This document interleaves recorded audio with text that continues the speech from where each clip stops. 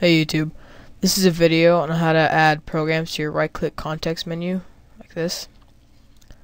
And the first thing you have to do is go to reg edit, so just go to run, type in reg edit, that, hit enter. And then you should bring up the registry editor. Then you expand H key classes root, right there. And you look for a directory, and then you expand that. Then you need to expand background and shell. Then right click on shell, and make a new key, and call it the name of your program. Call it Firefox. And make a new key under that one and call it command. Like that. Okay, now you now you have to find where your program is installed. Mine's right here.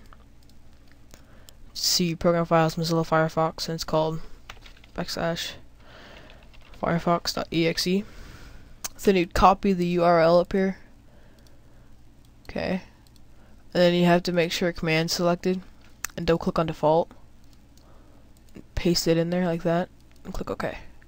And then now you just right click on your desktop and it should be there. Firefox. Click on it and it opens Firefox. Uh, so yeah, there you guys go. Uh, goodbye.